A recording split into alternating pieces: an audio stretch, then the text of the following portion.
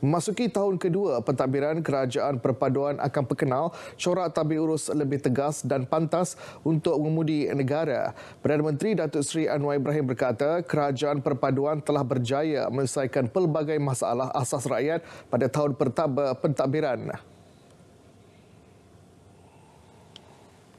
Tahun pertama kita mengundi, mengemudi bahtera ini pada awalnya sedikit terombang ambing tetapi Alhamdulillah dengan dasar yang jelas Selesaikan masalah-masalah basic rakyat Cukup satu tahun.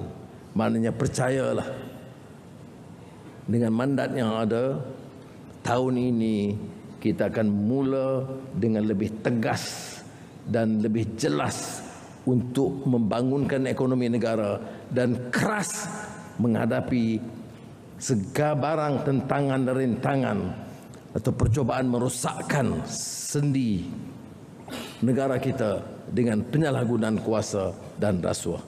Beliau menyampaikan amanat pada majlis kesyukuran sempena setahun pentadbiran kerajaan madani di Putrajaya.